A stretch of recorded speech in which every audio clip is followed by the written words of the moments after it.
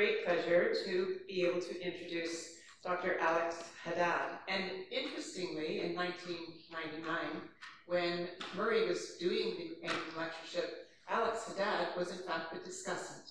So it's a little bit, um, I think, appropriate that Alex should be here now as our final lecturer in the, in the lectureship series. Alex is a physician, an educator, a researcher, and a public advocate. His mission, according to his website, says is to improve health and wellness for everyone through the use of information and, and communication technologies.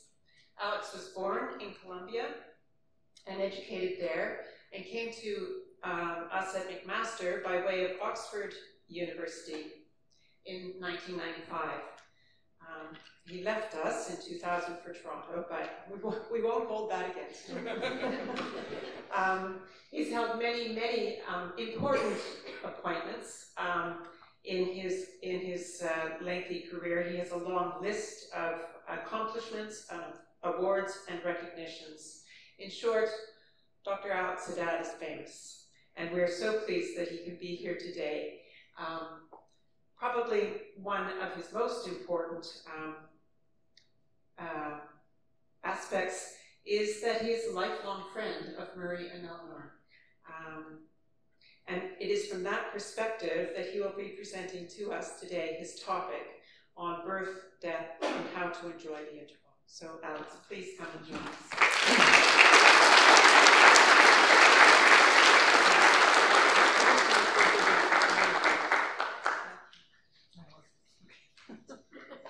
Thank you.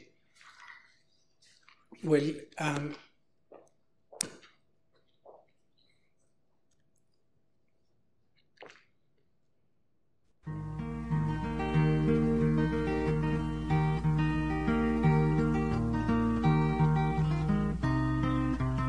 close your eyes if you want.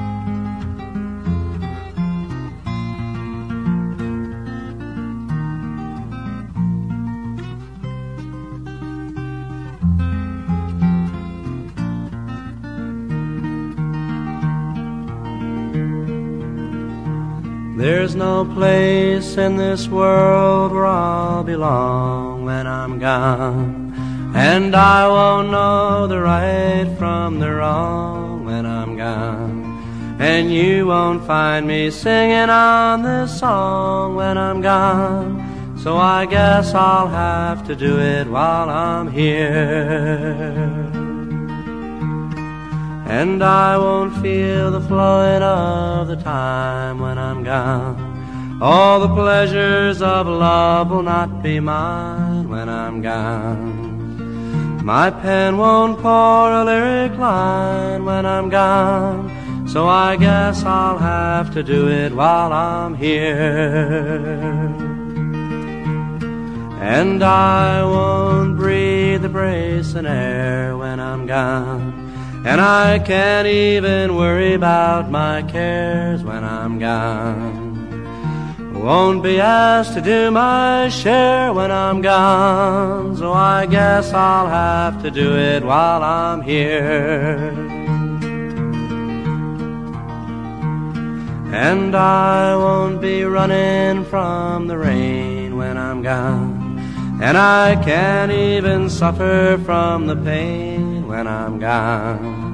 Can't say who's to praise and who's to blame when I'm gone. So I guess I'll have to do it while I'm here. Won't see the golden of the sun when I'm gone. And the evenings and the mornings. I think that song says it all. And um, because words cannot capture what those who know and above all can feel this amazing couple um, could try to express. So I promised them that this would not be a hagiography. I said, don't worry. Really, you have received many tributes and many recognitions. So, um, what I would like to propose today is a tribute to that end that end that inspired Phil Ochs to compose and sing When I'm Gone, what inspired uh, them to act as a unity. And uh, so tonight, I, today, I would like to propose that we acknowledge the presence of, it, of the tenth muse. The ancient Greeks at the very beginning felt that there were three muses. Then, over the centuries, the number increased to nine. And I think that today we have plenty of evidence. And I think Mary and Eleanor are the embodiment of what the muse of relationship can achieve, can enable us. And I think, um, because I've experienced that muse through them, is the spirit that enables us to think with each other, to feel with each other, to love with each other, and to live with each other. That muse is there in that end, in the preposition with. And I hope today to make a very strong case for the existence of this muse and for the acknowledgement of its presence in our lives. So, Mary and Eleanor, thank you for enabling us to experience that muse. And I know that most of us, all of us who know you, would agree with me. And uh, this muse um, is now singing through me. And um, made me feel that this period of time that we are sharing with you could have been entitled on love and contingency just as much. And uh, contingency has been a very important word in this whole journey. Because as they often say, everything is just a matter of perspective. Everything depends. There is no stable truth. And uh, what a lot of people don't know is that that muse was present there more than 70 years ago when Murray and a friend, and they loved each other very much, liked that beautiful woman at the same time. And they had to make a decision about how to handle that situation. They didn't want to ruin the relationship. The muse was already enabling them to value their friendship. And they decided to toss a coin. And Murray was the one chosen by the muse to approach this beautiful woman and start a relationship that now we are celebrating after so many decades. So, here, I hope you can feel what the muse of relationship is enabling us to experience. Yeah.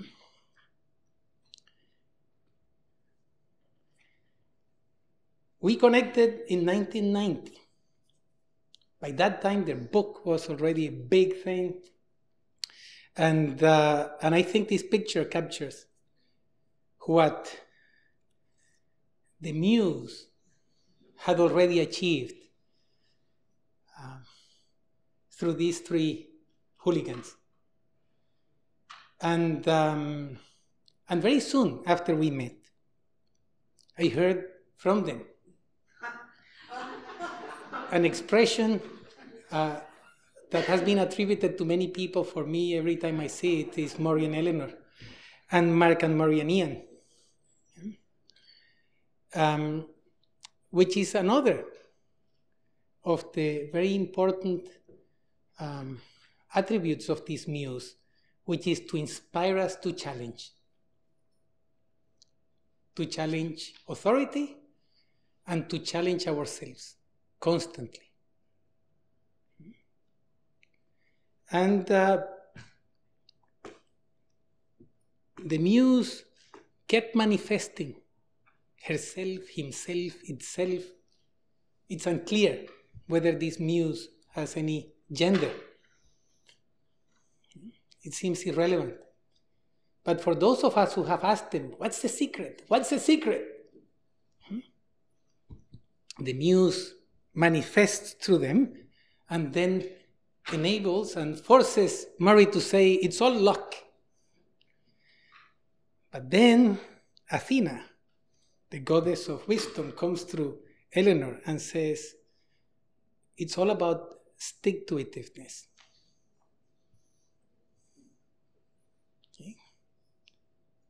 And then the muse of relationship says, Thank you, Athena. Sticking, okay? being persistent, enduring, surviving challenges is a very important thing. And then they would smile and say, No, no, no, really, neither of us has died. okay? Eh? So, luck and stick to itiveness. We took this picture here. Um, now, over 20 years ago. And uh, it was, again, an opportunity to experience the presence of the muse. And, and very soon we became Murray and Alex. And uh, even though more than 40 years separate us, that we had been really focusing on, on aspects of life that seemed to be very, very separate from each other. Uh, we realized that there was a very strong message underneath that we had to notice. And um, we noticed very quickly that birth and death are very similar. We're looking at the rituals, we're looking at um, the mystery, we're looking at the risk of medicalizing them, the passions, the emotions that are present at the very beginning of life and before a birth, or at the end and even beyond death. So we were inspired by the muse to think of a new term that brought birth and death together. And we called it tokothanatology. It's the study of birth and death and the similarities between them. And we might need your support, those of, of you here present in person and those of you watching us at a different time in a different place. Because we are trying to make this term, coin this term, and plant it into uh, the lexicon. But then we realized almost at the same time, this happened almost at the same time, that we found ourselves as patients and uh, becoming aware of our own fragility, of how ephemeral we are, of our own mortality. And then again, it happened.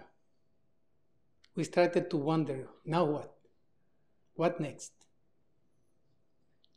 And we started to pay attention to something that we had ignored for decades it was so obvious once we noticed it.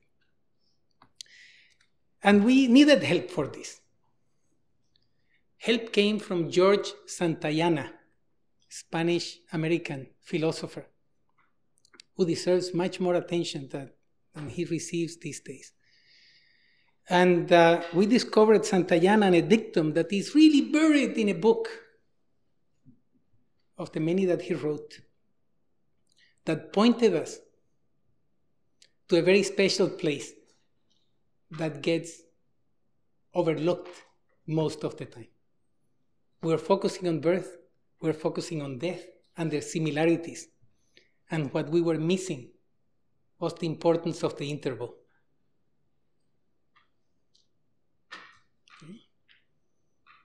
So, what's next?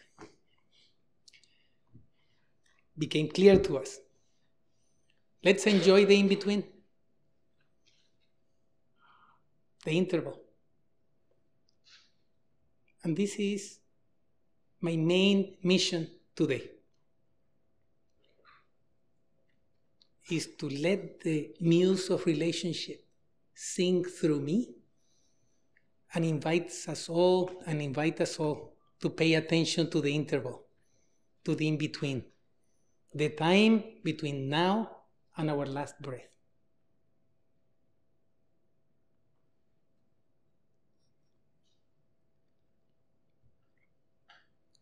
And our journey began, a magnificent journey that changed our lives forever, and that today we hope would provide some tips for all of us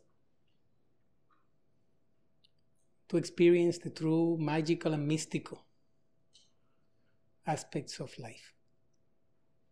And the first thing, which was very hard for us to accept, was acceptance.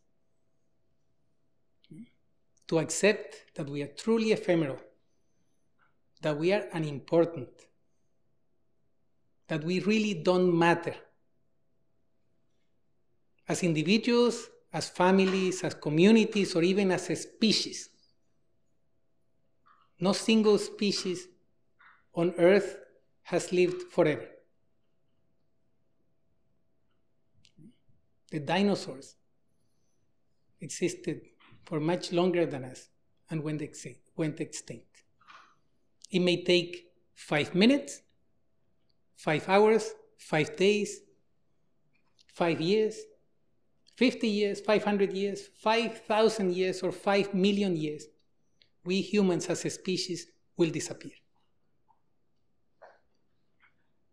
And Kurt Vonnegut, I'm paraphrasing him, one of our favorite authors, once wrote, We are all writing with air on air.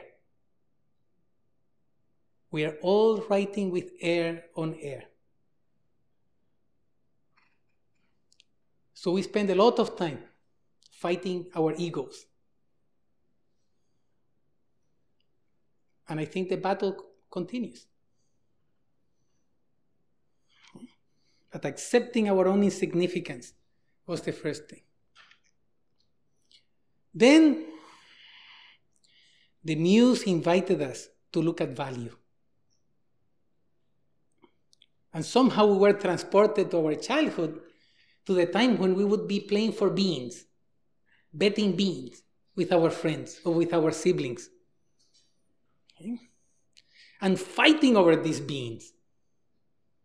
And sometimes destroying relationships forever for these beings that in monetary terms would have almost no value. unless we realize that each being contains life, is full of potential. So we decided to consider everything beings and allocate being value a lot or a little to almost everything that we found on our path. And, and very easily we started to recognize that most things that we value so much,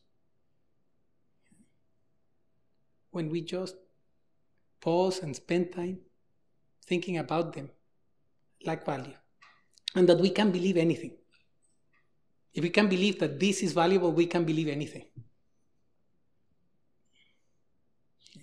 And yet we get very attached to the things that we choose to believe are valuable. And we also recognized, I'm talking about Alex and Murray and the Muse, that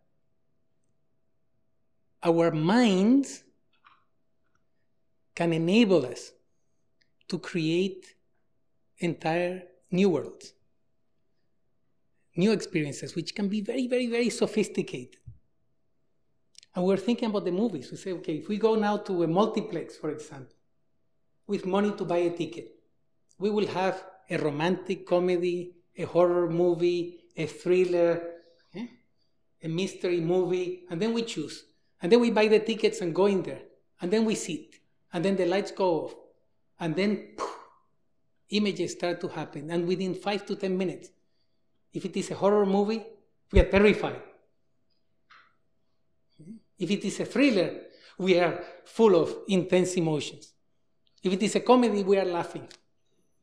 And somehow, if the actors are good enough, we forget the names. We can recognize them, but somehow we become immersed in the story and we actually live very intensely the story.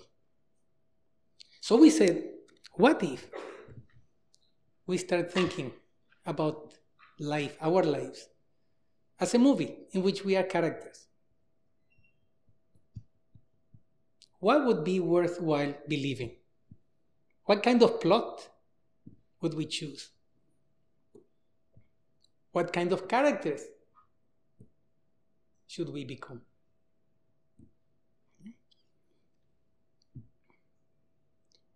So we decided to choose a love story.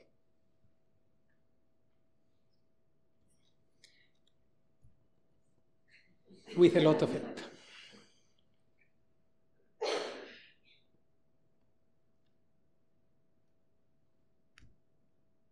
But what is love?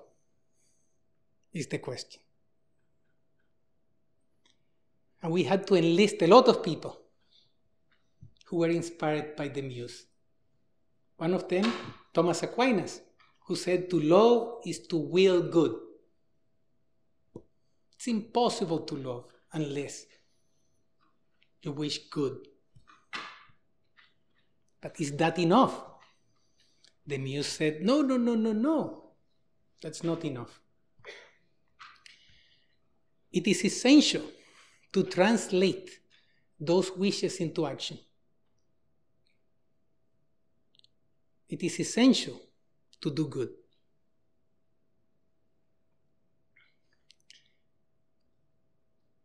But there is a catch here. We heard, we felt.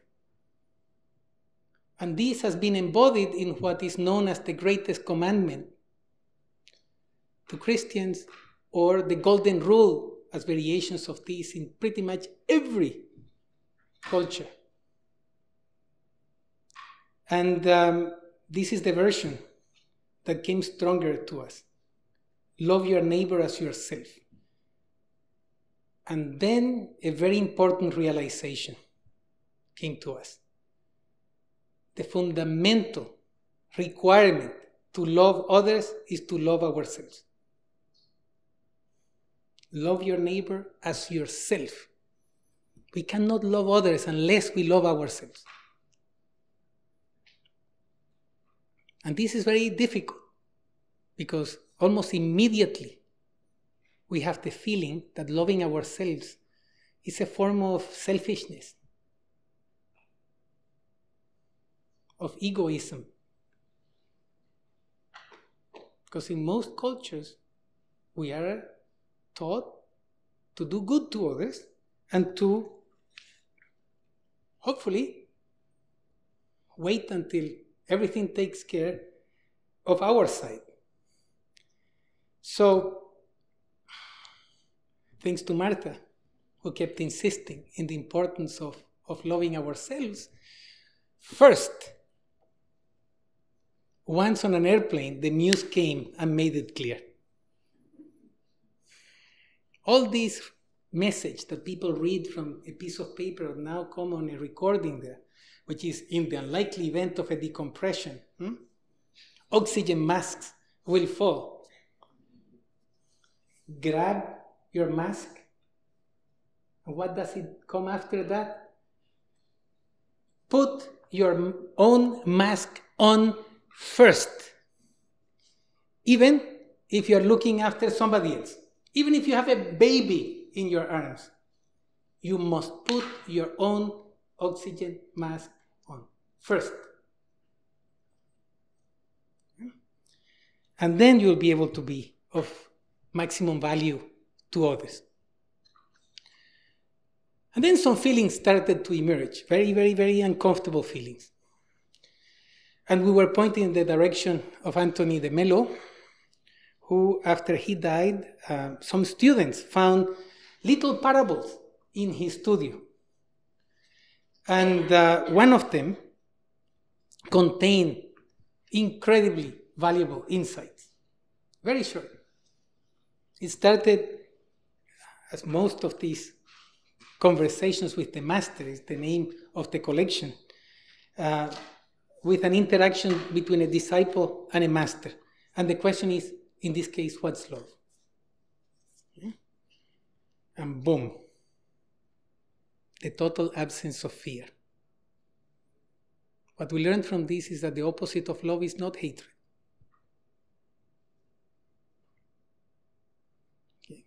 And that feeling, that sense of being very unsettled, was coming from our fear of loving ourselves first. And then the disciple cannot contain himself or herself and says, What is, what is it we fear most?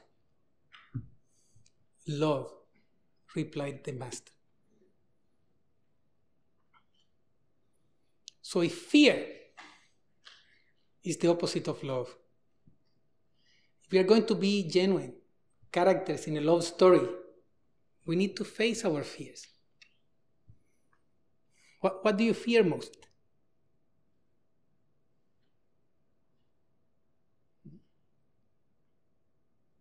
What do you fear most? There are five big ones fear of death, fear of failure. We don't stop to try to conceptualize what we mean by failure. We, just, we are just afraid of failing. Fear of being vulnerable financially, emotionally, or physically.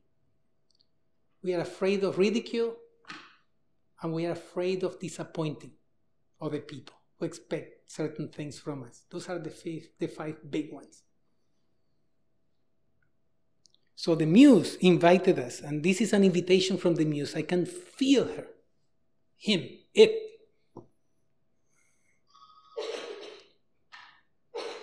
Invited, inviting us once again to answer this question What would we do if we had no fear?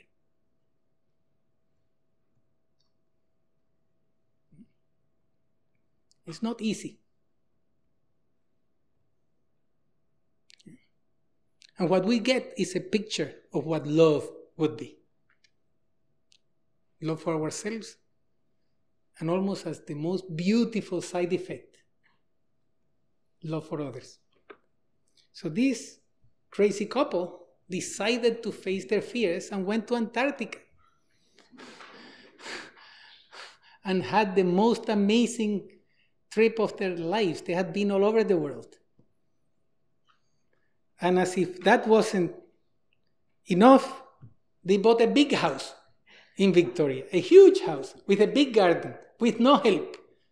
When most people would be thinking about a retirement home hmm, where they would be looked after by other people and then fade away, they just decided to buy a big house and moved across the country and started a new chapter in their lives fearlessly, loving more than ever before themselves and others.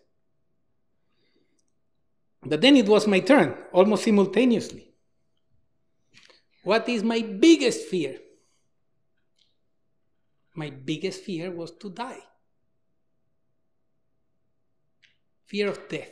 And I had worked in palliative care, in end of life care for, for decades. And I hadn't realized how afraid and terrified I was of death. And um, then decided to have as my goal to be dispensable, not to be needed. To be loved, but not to be needed. By my kids, by the students I have the fortune to support, by the patients I have the privilege to serve, by the team members with whom I work. and had to do it with, with help. This is another message. We cannot do this alone.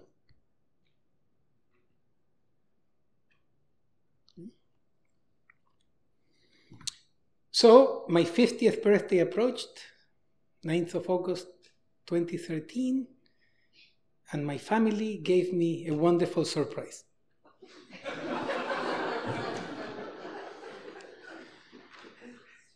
because it took us years. This process I'm describing in a few minutes. This required writing to people whom I had hurt, asking for forgiveness. The fascinating thing is that most of them didn't remember what I was talking about. forgive me for this. Forgive me. Forgive you for what? I had been carrying all these rocks all my life, full of regret for having hurt people who didn't remember a thing about it. I thank people who hurt me. I, I thank people who supported me in much more positive ways. And I wanted to have a big funeral because I tend to go to funerals, lots of funerals. When you work in end of life care, that's part of it. You don't get used to them. But when you spend time with people, from the time when they realize that they are mortal until they die, you notice a lot of things that are left unsaid by the time of the funeral. So you see the dead person there, and that person missed a lot of opportunities to say things to a lot of people. And then people start saying wonderful things about the dead person who they didn't get to hear when they were alive. So I said, I want to have a funeral, and a funeral in reverse. And a friend suggested the name An Awake, which is to do it.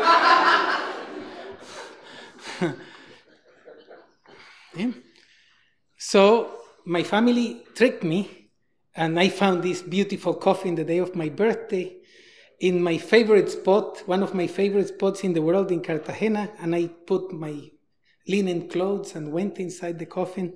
Fascinating to try to get into a coffin. You're usually put in there. It's not easy. The, it, it feels really weak at the bottom. You feel as if you're going to go through. And then invited our kids to spend time with me and to imagine that I was dead. And each of the kids separately spent as much time as she wanted with me. Because if everything goes well, I should die before them. And they had complete privacy and complete freedom to say anything they wanted. And not to wait. And to give me the chance to listen was one of the most beautiful experiences. And then they closed the casket. and the idea was that they would open it when I sent the signal. um, another very, very, very interesting experience to be in full darkness inside the casket. Words cannot describe how it feels. And then I gave a signal and they played my funeral music, which now is the music of my alarm clock, by the way. it's a good reminder every day. And they carried me. They carried me, and I could feel the, the waving of the, of the casket being carried. And uh, they took me to the living room and, uh, and opened it together. And uh, with a lot of help. And this had been very carefully curated, by the way. Um, I made a commitment to myself. And the muse was there in those hands coming together. We were feeling with each other. Something incredibly deep, inspired by Nietzsche, who deserves more attention now than ever before. He was very sick, Nietzsche. Apparently, he had sex only once in his life and got syphilis. and that may explain his madness at the end. And um, yeah, yeah. Poor Nietzsche. And but he was very sick uh, um, throughout his life with many other many other ailments, and he couldn't write very long pieces. So as opposed to other philosophers who would get a question and spend their lives answering the questions, the question, and then write big books about the question, Nietzsche would write something relatively short and throw questions at us.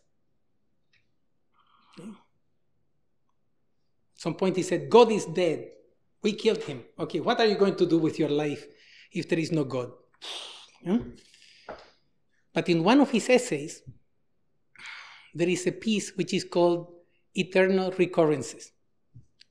In this little essay, within the gay science, which is a bigger piece of, of writing, um, Nietzsche asks us a question. He says, and he sets it up like this If you find a magical creature, they're called demons in German, apparently, the translation is very close to a demon, who has the power to enable you to relive your life an infinite number of times without changing a single thing and offered you that possibility to relive your life an infinite, infinite, forever and ever and ever and ever and ever and ever and ever number of times without changing anything. Would you say yes? And Nietzsche there says, most people would say, no, thank you very much. If I can change things, I would. But if I cannot change anything, no thank you. Hmm? Okay, that's retrospectively. But what happens if we make a commitment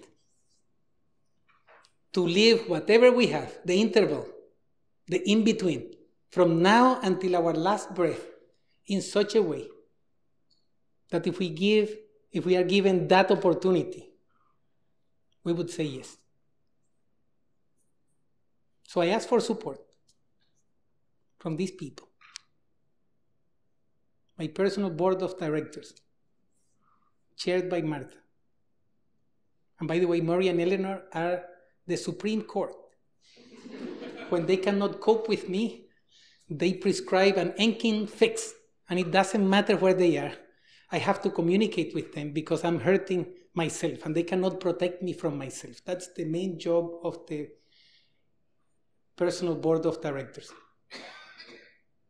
Yeah? So consider the creation of a personal board of directors. Who do you trust really to be your main allies so you can conquer your fears and love yourself first and then love the rest? So, with their support, came out with a commitment to divide whatever was left, that interval, into one hour chunks and call them life units to, to be lived in such a way that if they would be relived an infinite number of times without changing a thing,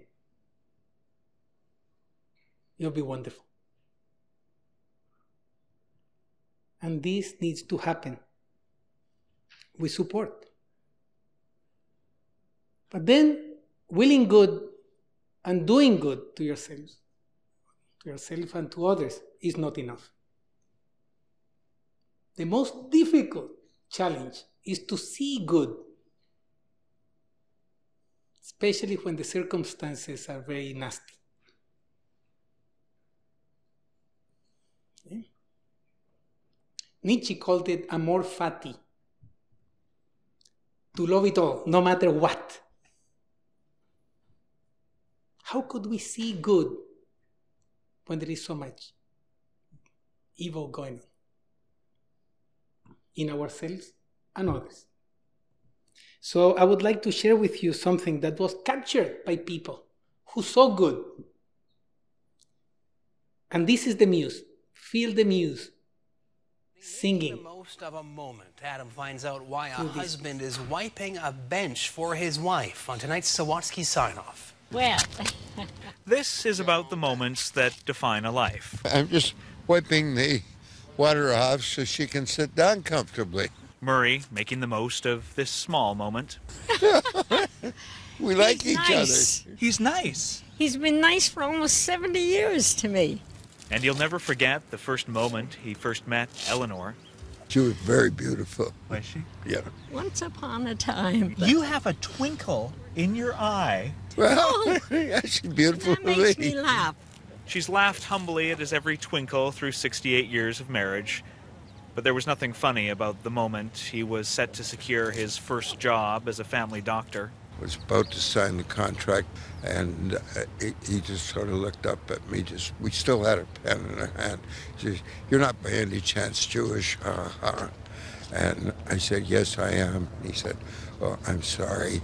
We don't want any Jewish professionals in the town." Although there was a moment when he was encouraged to fight it in court, All I said is, "Look, I don't want to get involved in legalities." Murray just wanted to support the health of a rural community. But life had other plans. Go where it takes you, and th- th- that's, That's been- been one of our mottos. So they walked away from that town, and he became an internationally acclaimed obstetrician, which led to another moment. A midwife accused of negligence asked Murray to testify on her behalf.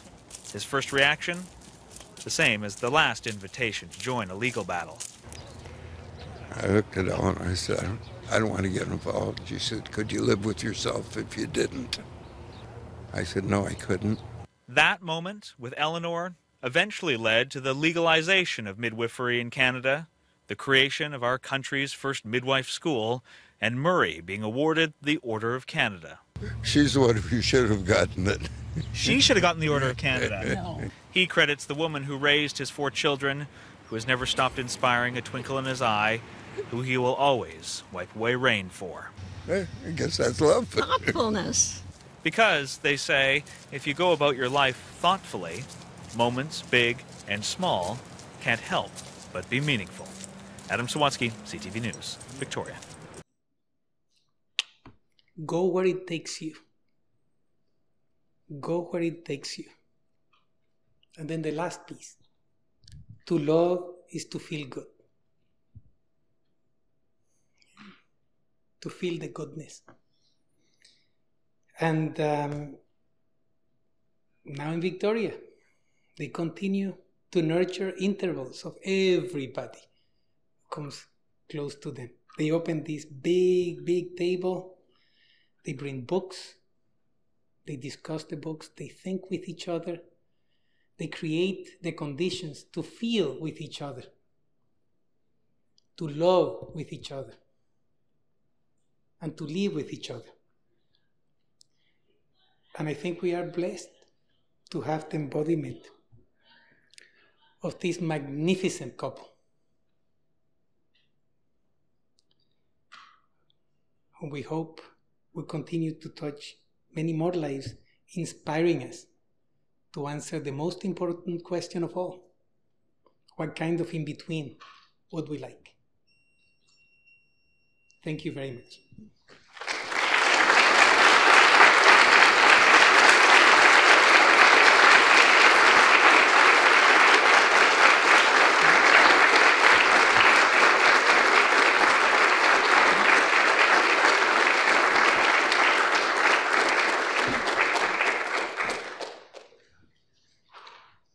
I guess we have time for conversation. And um, here we are.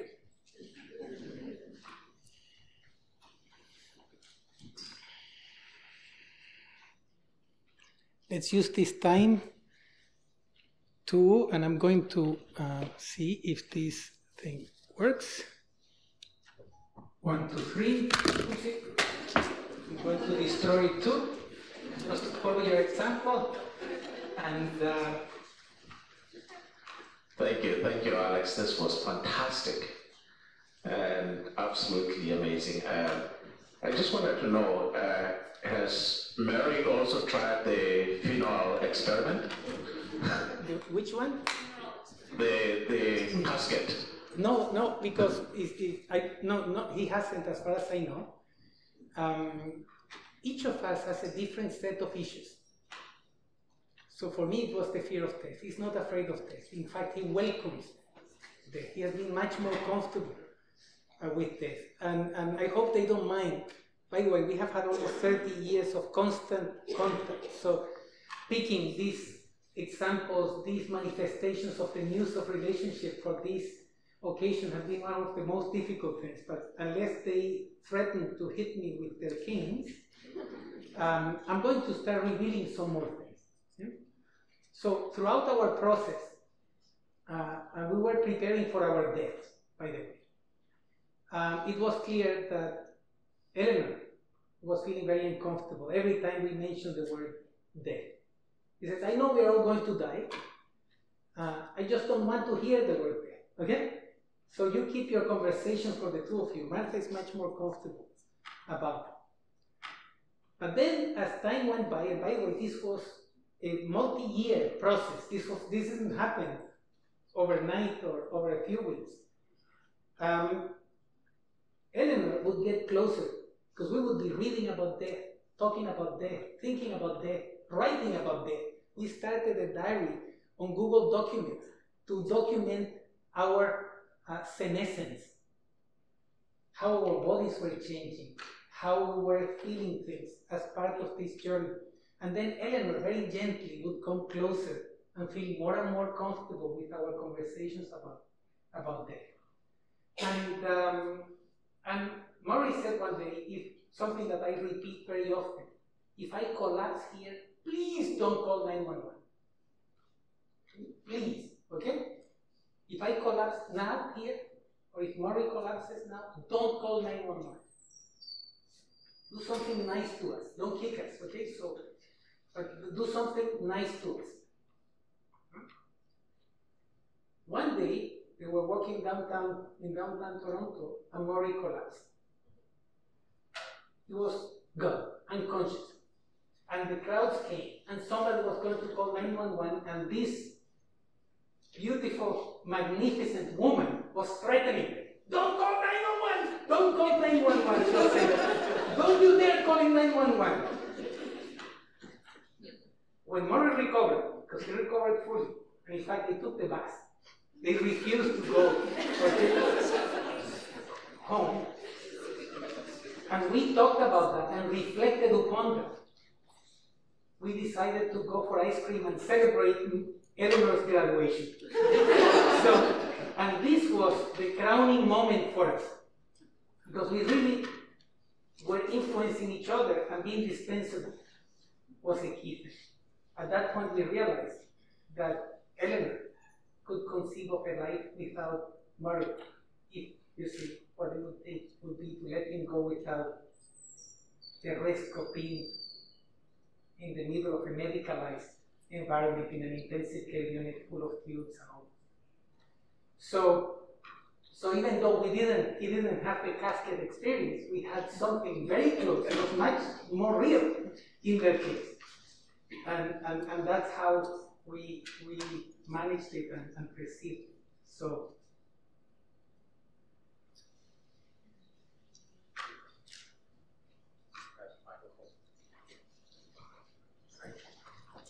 Thank you so much. I'm so impressed, and I think the journey you've taken is so great. But uh, I have a general question. Why you talk about medicalizing the last moments so in a sinister way? So why should it be? Okay. Um, because that's how it is. Uh, most people would like to die in a place they choose. Most often home. Most of us are dying in uh, institutions now. Um, we even, when we pass legislation, the physician assisted death, it's a physician assisted death. Okay? So even if you want to die, you need permission from people like me to allow you okay, to, to go through one of the most important decisions of your life. Um, 20% of people at the end of, in the last month get, with cancer, get chemotherapy, about 70% blood tests in the last 48 hours of life. Um, the costs of, of healthcare go like this. We consume 40 to 50% of the, resources we're going to consume in, the, in our lives in the last year. And uh, um, above all, I will share a personal experience with you.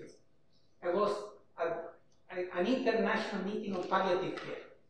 These are the people who devote their lives to the end. Okay? And I couldn't resist the question. I said, raise your hand if you're proud of what you do. 100%. Then the second question, the kicker came in. I said, raise your hand if you would like to die like your patients are dying now. 600 people from all over the world. Not a single hand went up.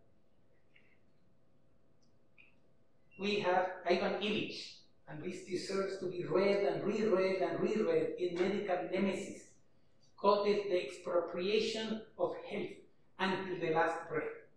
We have taken over. So, and most of us uh, would like to, to die, and we have data now. We have an initiative called the Global Good Death Initiative. And we are reviewing the literature. So we have plenty of, of research on what happens at the end. And we are very good at dying badly. Because death is the enemy. And we are the authority.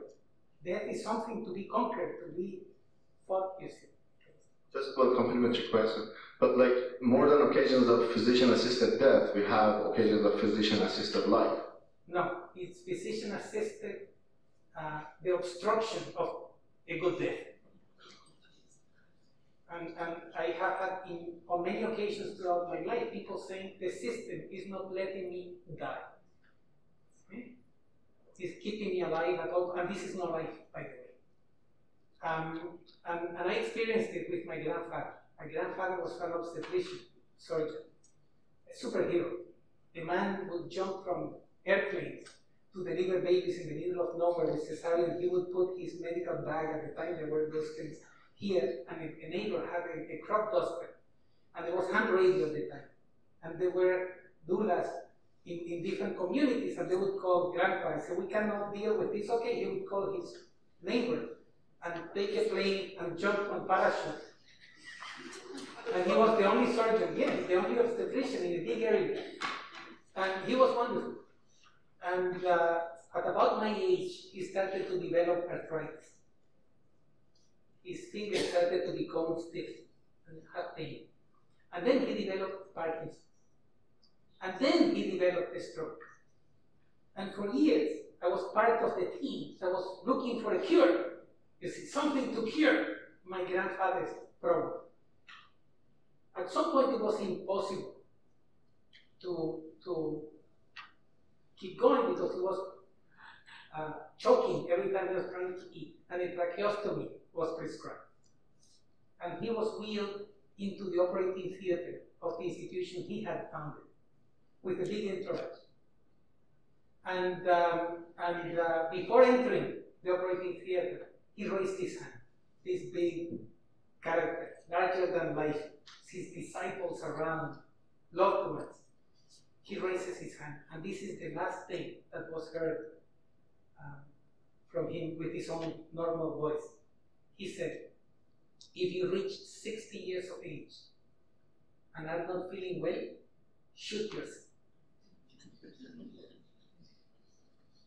We, in the name of love, kept going. We never asked him what he wanted. What he wanted.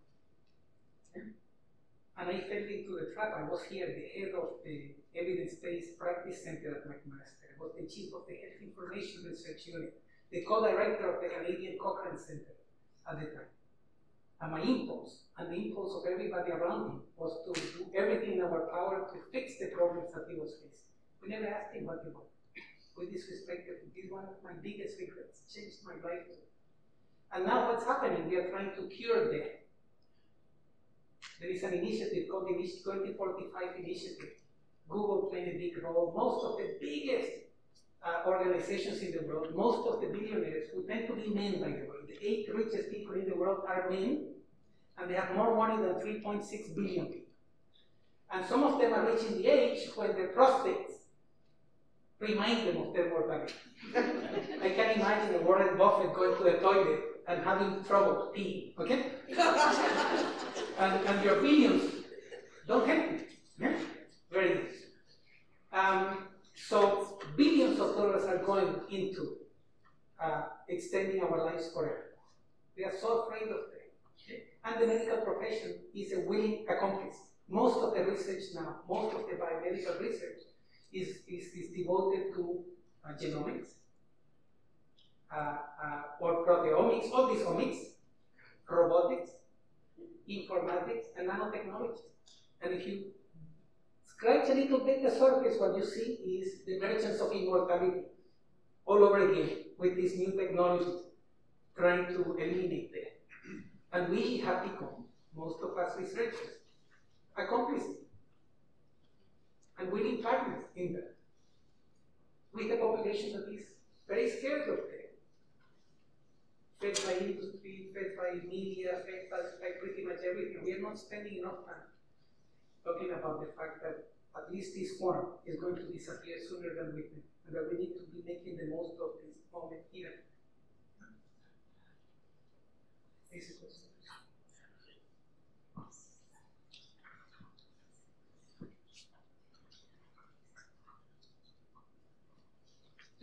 two uh, comments. Uh, first of all,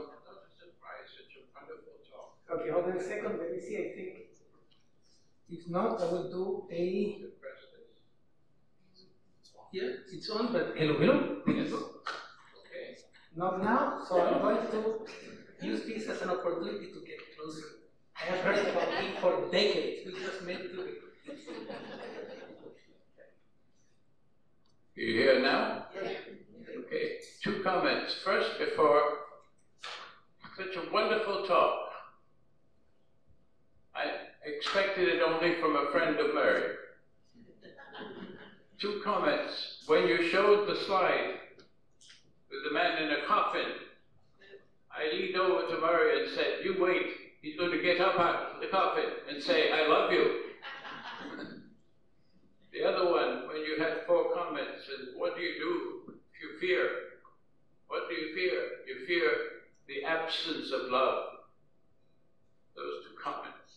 But a wonderful talk. It's so good to hear. it. Thank you. Thank you, thank you very much.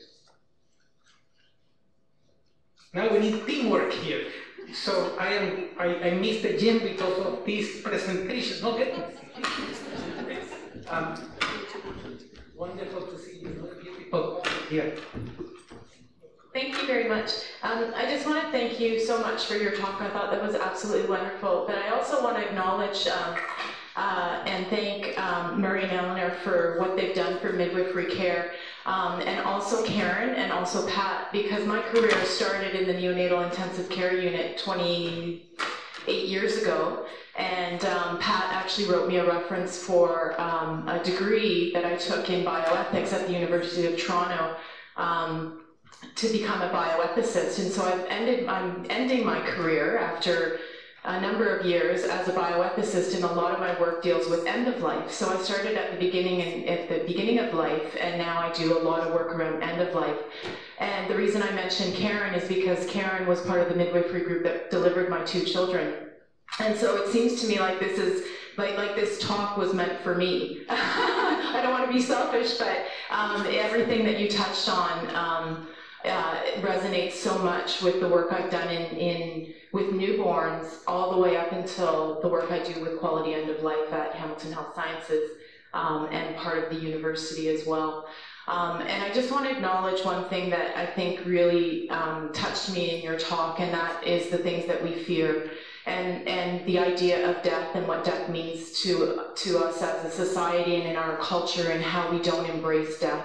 And we fear death and we push death away, and we want death to be distant from where we are and we try and make meaning of life, but yet uh, in the end, when things become meaningless, we still want that. And so um, I appreciate the combination that you've brought today, and I think all of us need to do work around recognizing how do we make meaning in between. So thank you for that. Thank you. And, and I'm going to use this as an opportunity. And by the way, this was for you. No, really, really, really. The, the news, I hope, uh, uh, uh, could go through as, as clearly as I was feeling her, him, it. Um, because that was the intention. The intention is to, to ensure that we could communicate uh, through that. So with Murray, we joined forces with Richard Smith a few years ago. And um, in typical Murray fashion and Richard Smith fashion, um, we published a paper for the Christmas issue of the British Medical Journal. And the title was Death Should Be Our Friend. Uh, on the Christmas issue, on purpose. Okay?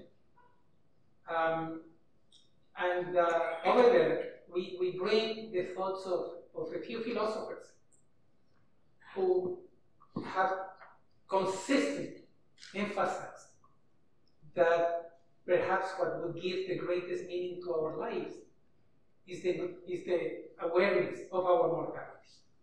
Yeah?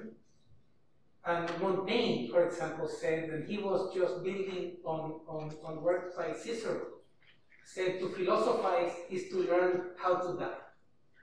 And to learn how to die is to learn how to live. So the biggest conclusion of our Global Good Death Initiative is that to have a good death, we need to have a good life until the last breath. Then the question is, what is a good life? And how could we become accomplices to enable each other get away with it at a time of true abundance? This is a period of abundance. And somehow, you see, we're missing out on the biggest opportunity we have to eradicate hunger. In Canada alone, we are 35 million people. We waste $110 billion a year in food. The FAO estimates that we need 30 billion a year to feed every person who is hungry in the world. 30. In Canada, 35 million people waste 110 billion. Enough food to feed half of humanity. Why? So we have an abundance of food. We still have an abundance of space. We have now new technologies that would allow us to build homes for everybody. Why do we have homelessness? There's plenty of materials, plenty of space. Hmm? So, in a cheerfully pessimistic way, because we decided to be cheerful pessimists along the way, hmm? when we recognize that our lives are surrounded by dead optimists, the difference between an optimist and a cheerful pessimist is that the optimists spend their lives trying to prove themselves right. The cheerful pessimists are happy trying to prove themselves wrong. So our hypothesis, which is the null hypothesis, is that we are screwed, there is nothing we to change things. And we're doing our best to prove that we are wrong. Enjoying the process. So this is the time. This is the time to, to figure out if now to switch to, to palliative care, even if everything is um, beyond the line of no return. How about palliative care for humanity? And this is a paper that Murray and I wrote a few years ago that nobody has wanted to publish. We say, what would happen if we accepted that we as a species are dying and that we are accelerating our extinction? Just as it happens with individual patients when we do good palliative care, quality improves, and surprisingly, in many cases, the expected life, length of the life left goes or becomes longer. So what happens if we apply what we are trying to achieve at the, at the individual level to the species level? Then we need to focus on the sources of suffering, all of them avoidable. Hunger, homelessness, intolerance, gender-related violence, all the isms. It's down to us to decide whether we do it or not. And that we can do if we decided to. Thank you for that. I'm still, I want to ask you the same question I asked you now for two years. What's the cure? Gotta have a cure for this. There is no cure. I know there's no cure. Gotta. You had a funeral. I had a doctor tell me I'll be dead within six months. That was 2009. I'm still here, kind of. So I didn't know what I do, and I go to funeral a lot too, and I journey with people who are at the last stage, but I cannot still find myself not fearing mm-hmm. death. I have dreams of dying. I worry about my son this weekend said to me, You're so old, you're gonna die soon. And I'm like, Okay, thank you. Love you too. Yeah. So what is it? Uh, uh, disclaimer. Uh, love this man as a brother. Uh, I consider him the best companion I have found for people going through this process at the end of life. So, Marcos, thank you for the question. Um, there is no cure. There is care. There is mutual support. There is love. Um, it took us years. We had to make this a serious issue. The most important issue to enjoy the interval was to, in our own way, because we had our own set of issues, we had to work together with support from these two magnificent women in absentia during the first chunk and in full presence towards the end from Eleanor to conquer our own hesitation and, and, uh, and our, own, our own fear. And I still don't know if when I get a diagnosis of a terminal disease apart from life, which is a sexually transmitted terminal disease. Uh, disease yeah? uh, when I face the active dying process, whether I would respond as I would like to respond. So um, I'm going to go now evidence-based a bit, which I, um, I avoided at all costs. We talk about randomized trials and, and, research evidence of the sort that we tend to overvalue. Um, there is no evidence showing that entheogen, that's a name for psychedelics, the most modern term, in low doses seem to eliminate the fear of death. So it might be possible to, to save the years that we spent, at least that I spent, dealing with, the, with my own fear of death. Yes, uh, psilocybin, mescaline, LSD, okay, these drugs that despite the fact that they have no evidence of addiction, were banned and considered class one drugs dangerous. Okay? They seem in low doses to contribute to, to the elimination of the fear of death. So I'm very intrigued and looking for partners. There are studies coming from Johns Hopkins and other places. There is a revival of this. So, so we might, in some cases, be able to benefit from something that could be aligned with the medicalization of life at the end. But apart from hard work now and making this a top priority for us, I cannot see any other. And it's hard work. This is not, this is not an easy job. And you're most welcome because we are going to continue working on that together. Yes. Hi, Dr. Jadad. Alex, Alex. Alex, I wanted to thank you for such a personal and introspective talk, and I also wanted to thank Murray and Eleanor for being absolutely the picture of a beautiful relationship and one that has withstood the test of time, so thank you both. My name is Vivian. I'm about to graduate from medical school here, and so in a lot of respects, I'm at the beginning of both my career and my life. I think for young people like me, it's it can sometimes be hard to think beyond tomorrow and to think beyond. I heard someone's pager go off in the audience, the next call shift even. So I'm wondering what advice you might have for young people to think about the in-between and to think about the long term and how we might be more mindful of how we can live an introspective life in all of the days between. I think Maria Eleanor, may be in a much better position to answer.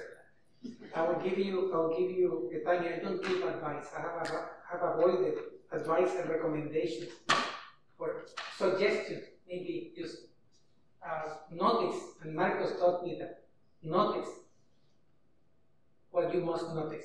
And, and you're noticing that tension with thinking about tomorrow and the day after. You said it's very difficult to. Don't notice what's happening now. And notice that you're at risk as a, as a new physician. You're going to enter a world, and you probably have seen 50% of, of, of, of medical students are burnt out now. 75% of residents, most people at your stage would like to go into residency. The risk of burnout would be greater. The rate of suicide amongst physicians is greater, and especially amongst female physicians, by the way. So you'll be at risk of, of depression, deep depression, and, and, and, and, and suicidal ideation. Um, that you belong to a generation that has been cheated by baby boomers like me. Um, we said to you, be good, study hard, uh, do what is expected to you, excel, and everything is going to be fine. You are now entering a world in which machines will be replacing most of what one or two generations of physicians did, but we have no idea of what our role in society is, where medicine is only perhaps good to deal with the acute and curable things. Uh, in a world in which most of the challenges we are facing are chronic and or natural, like childbirth or death, hmm? that um, managers are dehumanizing our world, that you're going to find yourself as the victim of three forces, the financial sector that is going crazy, the corporate sector that is lunatic, obsessed with growth, and a government that is complicit to both of them, that you're going to feel alone. So, um, uh, I'm glad, I'm glad that you are, you are concerned. Don't face this alone. You are not alone. And we as civil society need to join forces now more than ever to see if together we increase our chances of a long, healthy, and happy life full of love until the last breath. Together.